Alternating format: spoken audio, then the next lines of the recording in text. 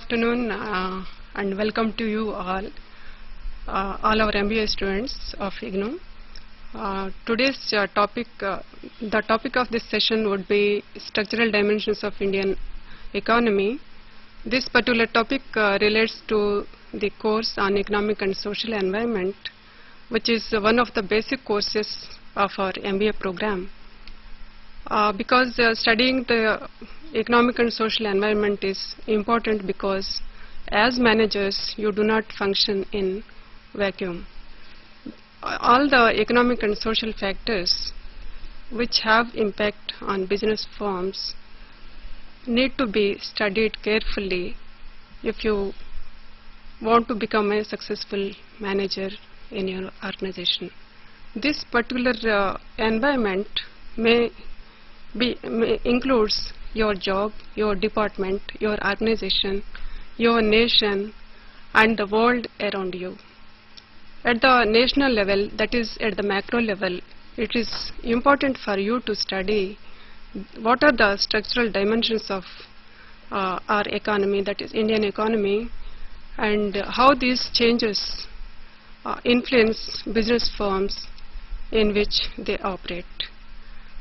Right now we are going to cover the uh, significance of economic growth and development and uh, the ex growth experience curve.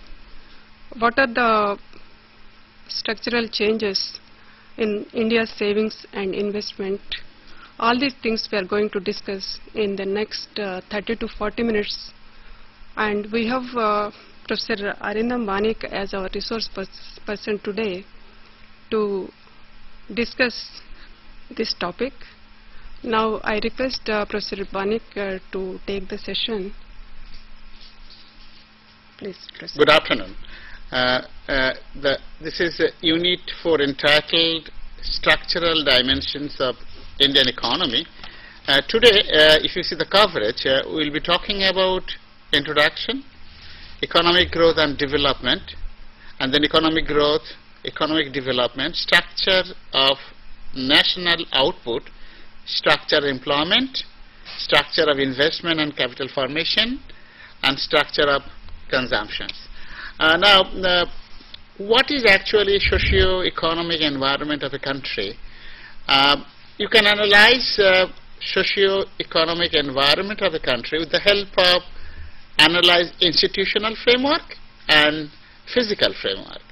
And when you talk about the institutional framework, the economic policy statement of the government, economic plan documents, the political constitutions, economic regulations, controls, among others which define the role and status of private sector, multinationals, corporations, small business, etc. Uh, and when you talk about the physical framework, trends in economic variables such as income, price, output, investment, foreign trade, labor supply, and other factor endowments.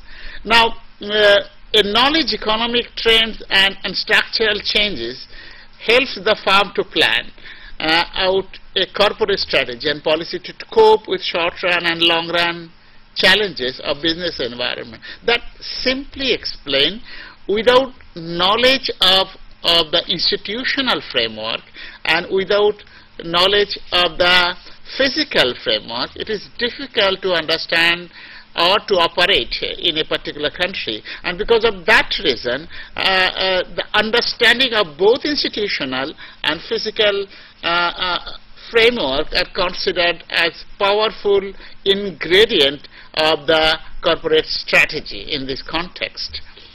Now, first we define actually what is economic growth and, and development. Uh, when we talk about the economic growth, we consider more output. When we talk about the more output, that simply explains more GDP of the country, which is known as uh, gross domestic product of a country. Now, economic development is not only more output, and changes in technical and institutional arrangement by which it is produced and distributed. And note, we are highlighting here is basically distribution aspects, not only the more output to be considered in this context. Uh, if you see the India's current growth story and the development exercise, um, growth of India, if you see post 1991 situation, we, we basically uh, argue that uh, 1947 to 1990, the growth is basically within the range of, uh, say, uh, not more than 3 to 4 percent growth rate. And suddenly we found post-1991 situation, the growth is defined by 9 percent. But if the growth is very high, that simply explain uh, you you can interpret that uh, uh, the economy is also doing brilliantly in terms of development aspects. Uh, Perhaps this is not the story, what we are, basically trying uh, to argue. For example, organized sector employment remains constant uh, in Indian context, despite you have the growth rate of 9%. More interestingly, in India, organized sector employment contributes about 15 to 20 percent of the total employment, and of this, 70 percent in the public sector and 30 percent in the private sector. Interestingly, growth is very high, but this particular growth fails to generate employment due to their other rigidities such as education and required skill. That simply explain uh, you have the growth, but that growth perhaps failed to percolate it down to across the population, ac across the rural areas and that simply explains why they fail because of the failure of our skill-based education, failure to provide elementary and basic education infrastructure to the uh, to the population and because of that reason you may have the high growth rate and then it, it failed to spread across region. That's the reason, you know, in recent time development economists argue the two India stories. Uh, one, story, one India is defined by highly prosperous development and highly developed, and, and the other regions basically backward, equal, equally backward, and not at all prosperous. That simply explains you need enough investment in those areas. Question comes then what is development? The development issues are unresolved. For example, we have, we have all intuitive notions of development. When we speak of a developed society, we picture in our minds a society in which people are well-fed, well-clothed, possess access to variety of commodities, have the luxury of some leisure and entertainment, and live in a healthy environment. We think of a society free from violent discrimination with tolerable levels of equality where sick receive proper medical care and people do not have sleep on the sidewalks. In short, most of us would insist that the minimal requirement for a developed nation is that the physical quality of life be high and be so uniformly rather than being restricted to an incongruously affluent minority. Of course, the notion of a good society goes further. We might stress political rights and freedom, intellectual and cultural development, stability of the family, a low crime rate and so on. However, a high and equally accessible level of material well-being is probably a prerequisite for most other kinds of advancement, quite apart from being a worthy goal in itself. That simply explains the kind of development we, we see, uh, or if you see that we are basically talking about not only growth uh, in terms of GDP, but we are talking about the welfare of the society. That simply explains medical care. poor are basically uh, uh, uh, feeling that they are safe in the society and able to take advantage of the government various poverty reductions or poverty alleviation programs and that simply explains state responsible for the welfare of the society. Uh, in addition to that, we mention uh, the development is the crime rates, freedom, intellectual stimulation, cultural development. They are all important when you talk about uh, development. There are always a debate among the economists that the growth and development perhaps uh, not uh, uh, uh, not simultaneously fail to go together. But people argue uh, uh, it, it is quite possible. If you see the uh, the Nordic states, for example, Finland, uh, then then Denmark, then uh, then Norway, uh, Sweden. These are the brilliant example how growth and and the the human development are basically working together. Now, since we are, are basically emphasizing um, understanding growth, then as, an economist or as a business economist, how you basically quantify it. And uh, in other words, uh, how to uh, see the growth in terms of empirical justification.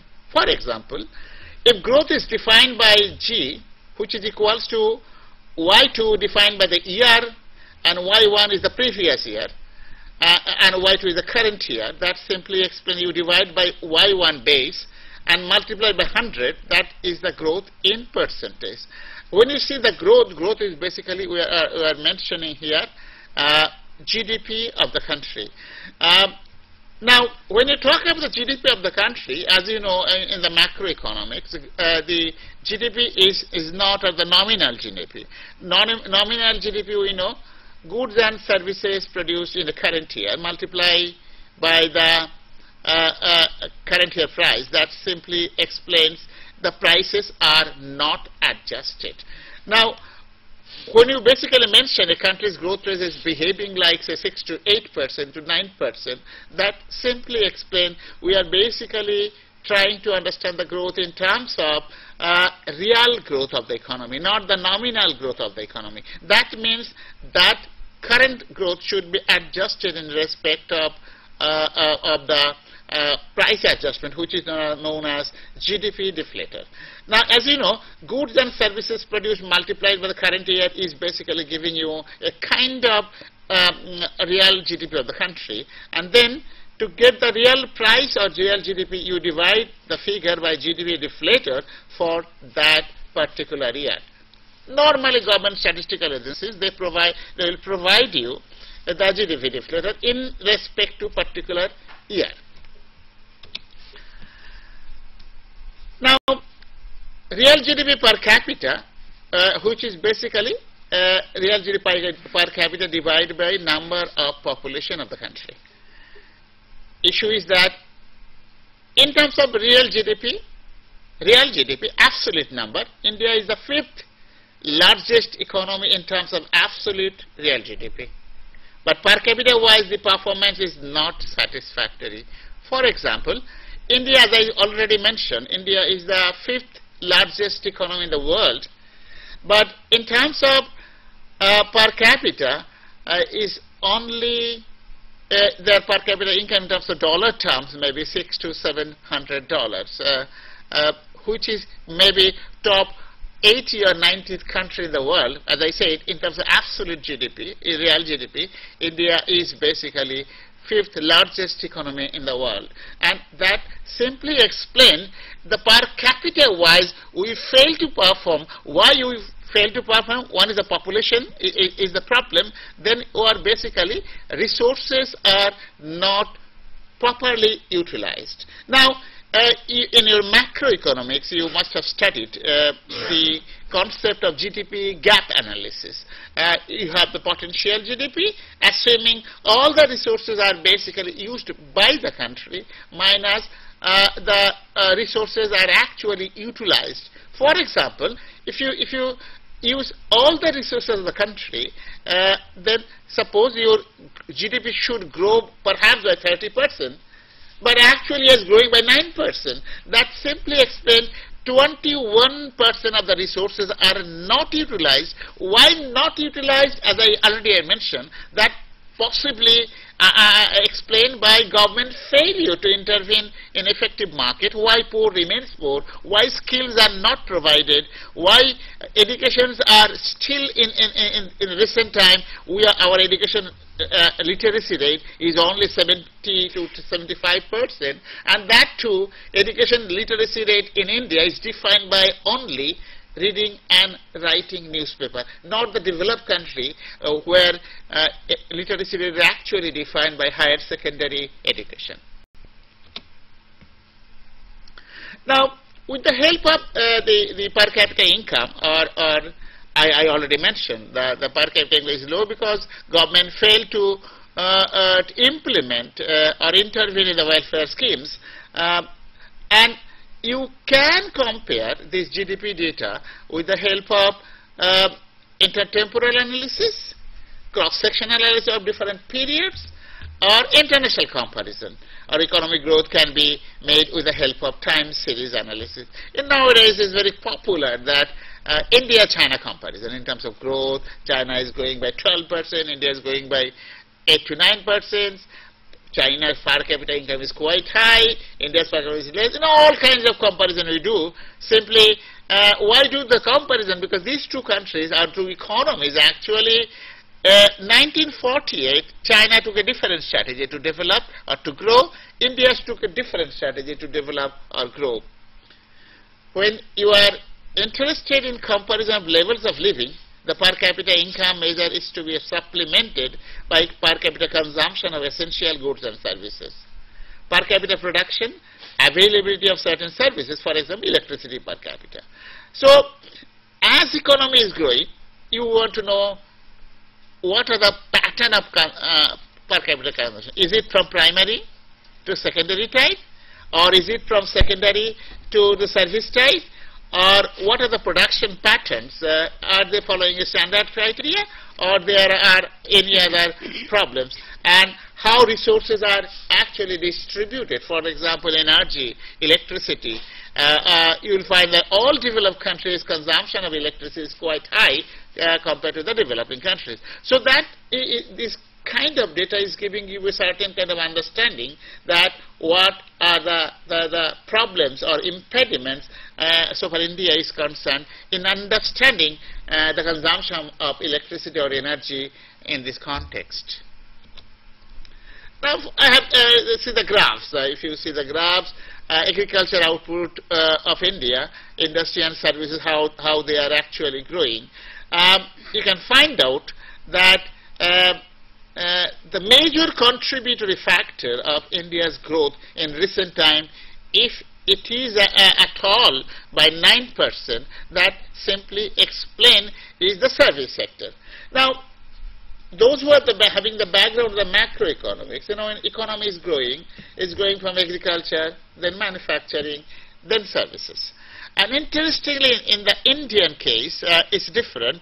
It's, it's not according to that conditions. It's going uh, is basically bypass or uh, the bypassing the manufacturing, suddenly going by service sector.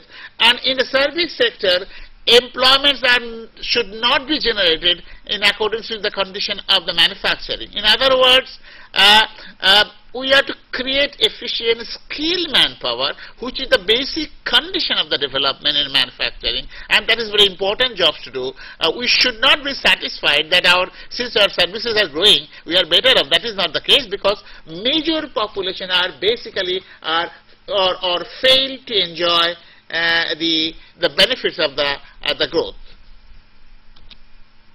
You can see uh, uh, again, I am using the inter-country comparison, India-China, how China is growing and how India is growing. If you plot the graphs, if you have the GDP, real GDP data, perhaps you can do the same way how things are working so far India and China are concerned. Now, uh, if you see that India's real GDP growth uh, in terms of in recent time, uh, uh, uh my period I have considered 91, 92 to 2003 to 4, you must have seen the growth is always above the 8%. Uh, there are certain problems, but uh, more or less one cannot, uh, you know, in recent time, that one can always uh, uh, see that growth of the economy should always be more than 7 to 8 percent if you use the growth patterns, which is basically strong deviation from 1947 to 1990. And as I mentioned, in those days we are basically following the closed economy model, and now we are basically following the the open economy model. It has given the results so far growths are concerned. But as I said, that growth is, is basically to be uh, uh, to be spreaded now across population, which is a, a major task to, to, should be pursued by by the government. There is another indicator uh, we often use labor productivity. Uh, which is basically output per worker. Now, if it is the national level output, we are not considering worker defined by those are actually employed important point, not the populations. So output defined by GDP of the country, which GDP of the country? is basically real GDP of the country and divided by labor force participation. That simply is how laborers are actually employed. The GDP of the country is basically defined by, uh, uh, defined by, or labor productivity is defined by per uh, GDP per labor force participation rate. Uh, now, Implications optimum utilization of labor in developing economy which is labor abundant. So you can make out with this particular indicator uh, what are the levels of if it is basically a labor intensive country what are the optimum utilization of labor in a developing country which is labor abundant. We have already explained the broad definition of economic development. Uh, uh, structure of national output, sectoral contributions. Um, sectors are defined by agriculture, non-agriculture such as manufacturing services. As I mentioned, since service sector is dominating, of the total GDP of the country, if the agriculture contribution is at 22 percent, and you can find out uh, theoretically uh, the manufacturing should should dominate, and then the service. Interesting in, in the Indian case, service sector dominates, not the manufacturing. So it is not following the standard economic conditions because uh, th there are certain problems and uh, problems of the society and government is basically exclusively failure here uh, to provide uh, if, the effective skill to the population so that they can find out job in the manufacturing. So with the help of this data, you can see the sectoral contributions of, of, uh, of manpower and how they are actually distributed across uh, uh, uh the periods intertemporal analysis, you compare with other countries, international comparison, you can make out what is going on in, in the country. So as I said, sectoral mean the shifts. Uh, year-to-year analysis uh, from agriculture to manufacturing, manufacturing to services, as I already mentioned, post-1991 situation is basically giving us a, a, kind of result where we can find out that uh, agriculture to services, not the manufacturing, and one must analyze it. And interestingly, I already mentioned, jobs are not created due to servicing. But who are the people actually 9% growth rate and who are the people are benefited out of that situation? That simply explain highly skilled population and thanks to government effective intervention in the uh, uh, in the skill intensive based education institutions. In this context engineering education IITs they are the major contributory factor. Now in the Indian context uh, which is very interesting um, Agriculture contributes 20 to 25 percent of our GDP, but in terms of employment, it contributes 50 percent of the total employment. Why? Uh, interesting. Uh, if you see, as I already mentioned, 20 to 25 percent only contribution from GDP, but manpower involved to produce that 20 to 25 percent GDP is about 50 percent of the labor. That simply explains most of the labor are, are not properly or effectively utilized. So manpower is huge in agriculture, but it failed to give effective result in this context. That simply explain certain group of uh, agricultural laborers should be taken out from the agriculture. And that simply again explain government effective education system, skilled based education systems and efficient uh, local level institutions. And because of that reason perhaps it can change the situation. Otherwise it is difficult in the long run so far India is concerned. Structure of investment and capital formations. Um, as I mentioned, uh, we are always mentioning government failure uh, to to implement uh, uh the effective education because as, as we have already seen it, that 50% of the uh, labor in agriculture, or then they are contributing only 20% of the total output of the country. And that simply explains, do we have the enough money or resources to implement the programs? Uh, in developing economies, at the initial stage of development, the resources are deliberately shifted from consumption goods to capital goods.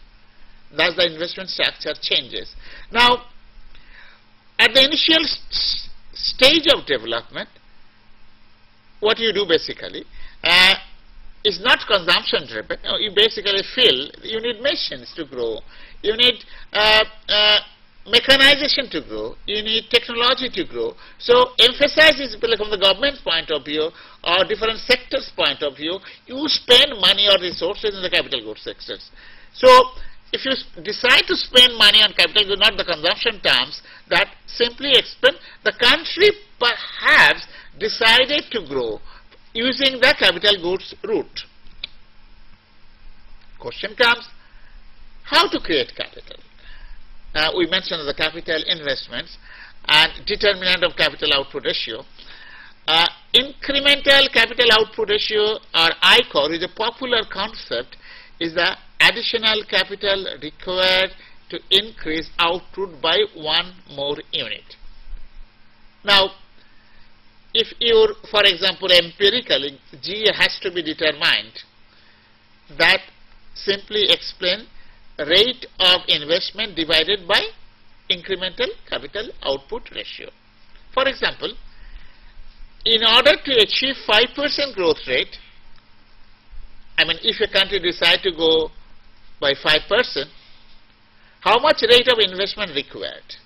Considering ICOR is equal to 4.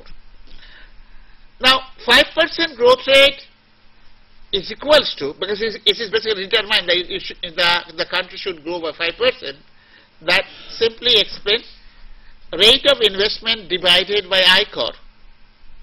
And ICOR is given here 4. So rate of investment divided by, by 4, and if you rearrange this equation, you can find out uh, what should be the rate of investment in the country if the country decide to grow by 5%. And that simply explains rate of investment as I mentioned, 5% and, and 4 is the ICOR. That means you need, sorry, there's a mistake here. It should be 20, not 22.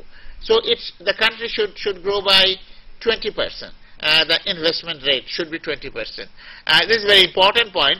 As I said, if country has to grow by 5%, that simply explain that you should know the ICOR rate and, and then uh, you should know the, uh, the growth of the country. So investment should be there at the rate of 22%.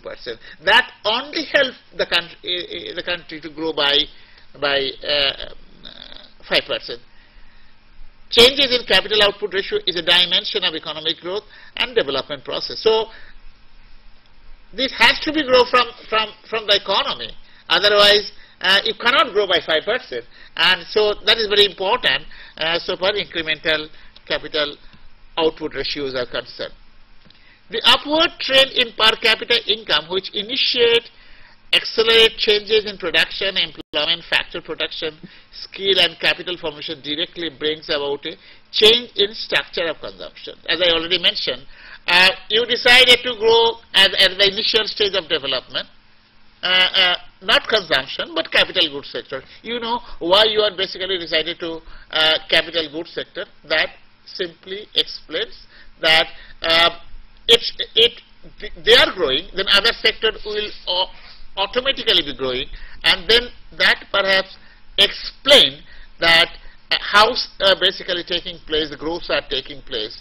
And uh, see, if you now see the same analysis after five or six years, if is at all capital goods sector is basically working very well, you can shift the total change in the capital goods sector and people will be moving to consumption driven because you have got the job, then you are basically moving your consumption of different types.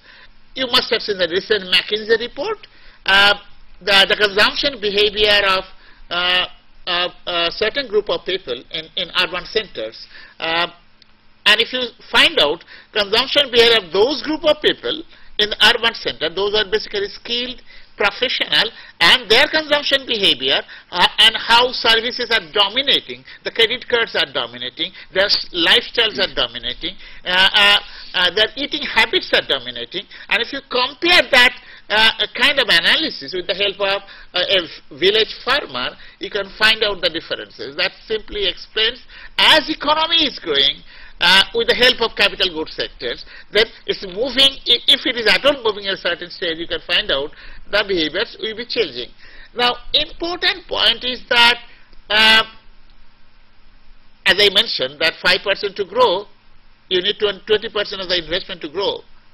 Do we have enough amount of money or resources or savings to generate 20% investment rate? And that simply explains what is the savings rate of India and what is the investment rate of India. You know already, uh, perhaps you have studied it in, in, in, in various newspapers. Uh, uh, China, for example, their savings rate is about more than 8, 48%. Our savings rate is, is, is equals to 30%. But at, at the lower level of income, that is very important point. Uh, as I mentioned, uh, why it is lower level of your per capita income is only 700 or 5, 600 or 700 US dollar, and at that level, which is a lower level, your savings rate is only 30%. That simply explains enough savings are not created in the economy to grow the economy further, uh, say, say a double digit or uh, 10%, 12%, something like that. And that savings, how to create? And it is only possible that savings can be created by foreign savings. And foreign savings defined by, you, you have already know, you must be knowing from the balance of payments, your foreign sector should be, current account should be surplus, which is known as foreign savings, and foreign savings added to your local savings, that means your global savings, and that uh, basically explaining your uh, investment rate, because savings minus investment is, a tax component. So, um, you, you, you say that the, you pay tax, which government expenditure, then, then rate of investment coming into picture. And since your savings rate may be 30%, but at the lower level, that simply explain enough savings are not generated in the economy uh, to employ vast population in the country. And because of that reason, uh, we need foreign savings or foreign investment to grow. And here is very important point we are mentioning that the savings investment gap. And Indian prosperity or Indian growth in the, in the future uh, uh, uh, um, projection, if you want, want to project it for the future, uh, these investments are basically very, very important. And one must then analyze that what should the savings be here in, in, the, in the next future for us. And how much investment are created and how much foreign savings are created and how and if foreign savings are at all created the government should spend money for its educations at skill level which is very important so far India's growth stories are concerned. As I already mentioned, growth is not the sufficient and essential condition for the development. So uh, growth is part of the story of the country's prosperity. Other part of the story is basically defined by development, which is basically not only growth, other aspects of the society. With this, thank you very much. Hello. Uh, with this, we come to the close of this session. Uh, thank you, Professor Banik, uh, for covering a wide range of issues like uh, uh, economic growth and uh, development. what are the changes in savings and investment um, by the government, uh, how uh, government intervention is uh, needed for the welfare of the society because the business has to function in a society and these two have uh, interaction uh, with the therefore it is very important for you as managers to understand that these changes which have implications for your business. Uh, with this i think uh, we end this session unless you have some queries regarding these issues Uh, I think there are no questions. I uh, we'll meet at uh, again at 2:30 this afternoon. Till then, we stand by the studios.